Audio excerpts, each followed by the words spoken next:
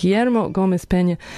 Guillermo, how are you? Thank you so much for coming in today. Oh, it's an absolute pleasure to be back in Santa Cruz and to be in this wonderful radio station. I love radio, it's one of my passions. So, thank you for inviting me. Now, Guillermo, you did radio, is that correct? Have yes. you? Yeah. Yeah, for many, many years, I worked. Uh, at a show called Crossroads for M- NPR, and then I worked for Latino USA.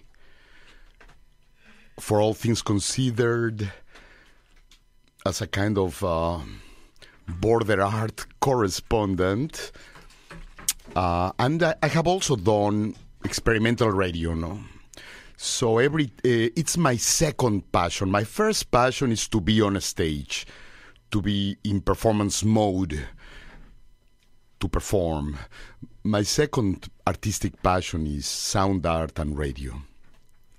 And Guillermo, you are quite the multimedia artist. You are uh, a writer, a, a, theorist for many of us. Uh, you um, are an activist. You are doing radical pedagogy. I- explain to me what is radical pedagogy? Well, um, in the last 10 years, our main. I have a troupe called La Pocha Nostra. It's a completely interdisciplinary troupe. It, it has been a haven for disgruntled dancers and actors who want to escape from the vertical structures of theater and dance and from the authority of the director and the choreographer.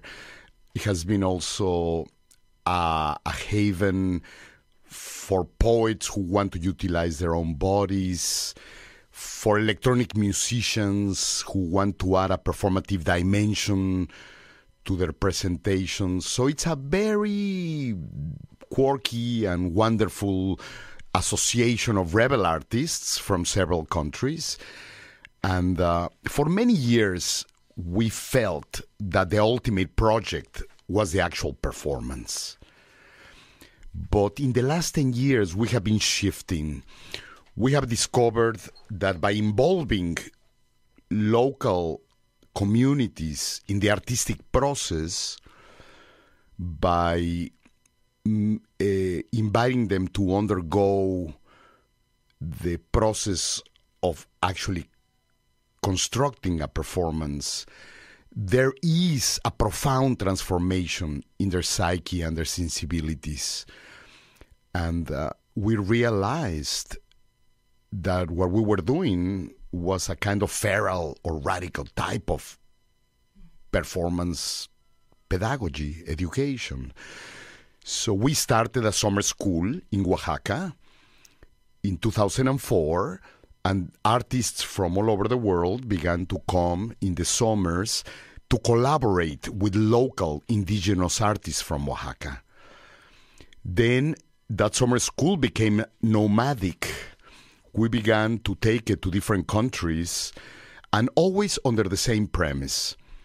Uh, half of the participants are local, and the other half are international. And our goal is to create transnational communities that are sustainable of rebel artists and hopefully to inspire them to create collectives in their own countries and cities. And it's been very empowering both for them and also for us. So, yes, nowadays, every time I'm invited to our residency, I demand, I require to incorporate a workshop. And this is precisely what we're going to be doing this week here in Santa Cruz. And that's right. You are uh, you started last night. You gave a talk about your your history of your art. You uh, came to the United States in 1978 after studying art at UNAM. You were born in Mexico City, and when you came here, you continued studying your arts, uh, and you started working on uh, what many would say an uh, artistic and intellectual body of work that explores borders, uh, the physical, the body, uh, the identity. And some actually call you a Chicano punk shaman performance artist. Would you agree with that type of? well, I mean, uh, it's an honor to be called that. Although I feel that shamans and performance artists, although we share many strategies, uh, we have different goals. No, their goal is to heal, to, and our goal is to maybe raise disturbing, uncomfortable questions to shatter the sense of the familiar of the audience, to ask the questions that no one else is asking. So we have slightly different goals, but I have always been inspired by shamans. Every time I go back to Mexico, I try to engage in an ongoing dialogue with shamans and to observe their practice. They are masters of uh, ritual art and you are a master of ritual art as well. This is Artist on Art. I am speaking with the fabulous Guillermo Gomez Pena. Guillermo is a performance artist, writer, activist, radical, pedagogue, and director of the performance troupe La Pocha Nostra. He uh, performs and writes and he debates on cultural diversity, border culture, and U.S. Mexico relations. His artwork has been presented in over 800 venues across the U.S., the world, and he is a MacArthur Fellow, Bessie, and an American Book Award winner. And he is a regular contributor, as he was saying earlier, to NPR and many newspapers and magazines in the U.S., Mexico, and Europe. You're based in San Francisco, is that correct? Exactly. Uh, one foot is in San Francisco and the other foot is in Mexico City. And actually, I would say that my sense of home is very strange. Whenever people tell me, Where is home? I respond, I have a personal Bermuda Triangle. Home is somewhere between San Francisco, Mexico City, and wherever I am touring at the time. Because I would say that 40% of the year I am on the road, you know, performing from city to city, from country to country, crossing borders, engaging with different communities sometimes alone and other times with my troupe. It's a kind of nomadic life that I love passionately. And you've been doing this for quite a while. Uh, you have traveled with many extraordinary artists, such as Coco Fusco in the early 90s. You did an extraordinary piece together, The Couple in the Cage, which has an incredible documentary. If anyone is interested in seeing it, you uh, traveled as if you you embodied the persona of a couple that had been found uh, on an island off of Mexico that had been untouched by modern humans, and you performed what how a person would react to modern life, and you were. Uh, chained and taken into cages in museums across the U.S., sometimes very well received, sometimes understood completely, like in New York, sometimes not like Chicago at the Art Institute, where people, some people were so offended of seeing humans treated as animals, as you and Coco Fusco portrayed, and then were equally as upset when they heard that they had been spoofed and that this was an art project. Um, do you look back at that time and feel like we've moved on in some ways? Oh, yeah, yeah. What a pertinent question.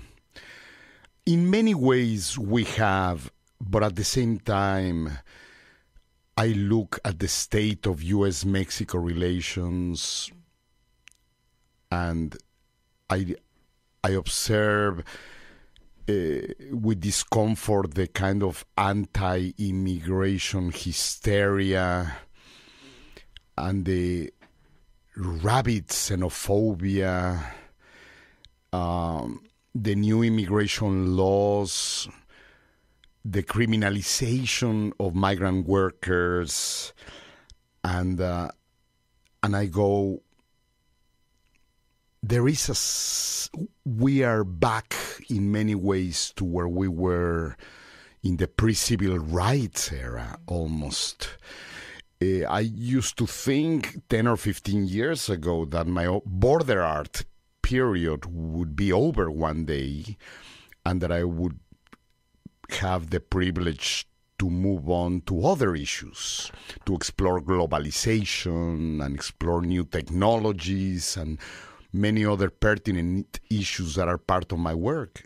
But here we are in 2014, and I am often speaking about the same issues I used to speak 20 years ago fear of the Mexican other. A couple of weeks ago, a politician made a connection between immigration, Ebola, and terrorism. I couldn't believe my ears. So, uh, no, uh, today more than ever, artists have to perform the role of critical, moral voices, holding the mirror to power, to reflect the distorted features of power. We have to perform the role of informal ombudsmen and monitor the behavior of our governments and institutions. we need to go back to the streets, but we also need to be in the media we need to be in the educational institutions and also in the art world. The art world is an important laboratory to inhabit. The art world allows me to develop radical models that later on will have to be tested somewhere else. You know, so I always go back to the art world, but for me, really the ultimate goal is the territory that I wish to inhabit is multi-contextual. It is right now speaking in the radio. It is next week demonstrating in San Francisco or in Mexico City. And it is also this week at the university engaged in a residency uh, trying to to bring provocative art and provocative thought to the young students. I am particularly interested in the young students. Last night, for example, we had about 150 students whose ages ranged from 18 to 21. They didn't know what performance art, they didn't know about my work, and it was quite a challenge to reach their souls. But for me, that was the political project you know, to show them that it is important for a brown artist to survive from his art, to exercise his freedom of speech. You know, I wanted them to get engaged, to, you know, and I was so touched by their response. So Guillermo Gomez Pena, he is here on the UCSC campus this week. He is here because um, since October 3rd and running through December 6th, he is a part of a Sesnon Gallery exhibition called Documentado Undocumented Ars Shamanica Performatica, and it is the outcome of a seven year collaboration uh, that features Guillermo Gomez Pena's performance texts Felicia Rice's relief, prints, and typography, accompanied by Jennifer Gonzalez's critical commentary, video by Gustavo Vasquez, and altar, a cabinet of curiosities, and interactive sound art by Zachary Watkins. This is the greatest book I've ever seen in my life. It's 30 feet long.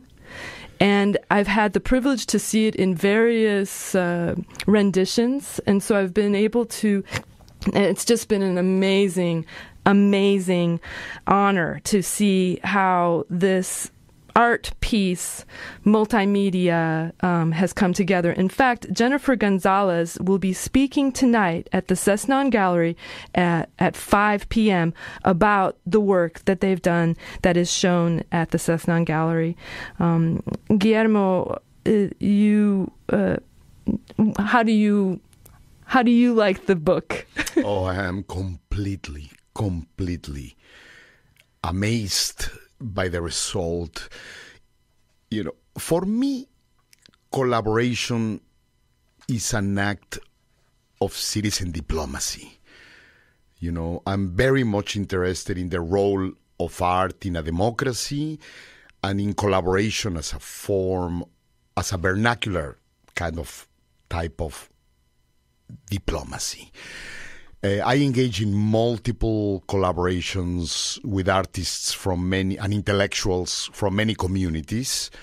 Uh, throughout the years, I have worked with uh, Reverend Billy, with uh, Native American artists such as James Luna, uh, with Coco Fusco, with some, you know, with Tania Bruguera, the Cuban artist. Uh, this particular collaboration is really close to my heart because it involves a, a group of intellectuals and artists coming from very, very different backgrounds an art historian, a filmmaker, an electronic musician, a book artist, and a writer and performance artist. We have been pardon, we have been engaged in this collaboration for seven years, cooking the book at low fire, meeting maybe every three months, sometimes in my studio in San Francisco, other times here. And finally, after seven years of discussions, debates, brainstorming sessions, gatherings around food and wine, we are witnessing the results. You know, it is a kind of one of the many possible futures for bookmaking. Now that bookmaking is in crisis and we are facing the probable extinction of the binded book, of the book as an object, uh, and the possibility that all the publishing houses become digital, we, in response to this, we are going back to the very origins of bookmaking, know, to the way books used to be made hundreds of years ago. No. By hand on a press in Felicia's house. Absolutely. Guillermo is also going to be doing a performance at the DARC at the Digital Arts Research Center at 8 o'clock p.m. on Thursday. It is going to be Imaginary Activism, the role of the artist beyond the art world. This is a free performance, but it is sold out and space is limited. So arrive early if you want to get a seat. Guillermo will be performing. Would you mind giving us a taste of uh, your your performance? Yes, I would like to tell you a little bit of what I'm going to be talking about, no? you know, I've been obsessed with hope. In the last 3 or 4 years, know, uh, where are we going to draw our spiritual energy from in order to continue fighting, reforming, uh, engaging in the civic realm? So I'm going to read an excerpt from a larger piece that will be part of the performance. No, carnales, I won't celebrate politicians anymore. The fact is, I don't believe in government. I don't think it is possible to correct the problem from within the system. We have all tried. It doesn't work. The system is the problem, and politics is the art of manipulating the system to perpetrate problems. Being a radical within the system is a mere prestidigitation act, part of the spectacle of radicalism that media consumers require to feel alive and authenticate their extreme designer identities. In my world, debatos I would propose as political candidates are not even politicians. They are artists and literati visionaries, not functionaries. The country I would like to live in only exists in planet poetry and planet performance, where imagination is the only law. Art is part of everyday life, and everyone practices what they believe.